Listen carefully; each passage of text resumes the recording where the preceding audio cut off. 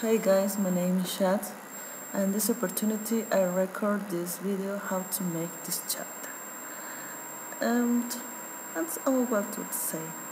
Bye guys. Bye bye.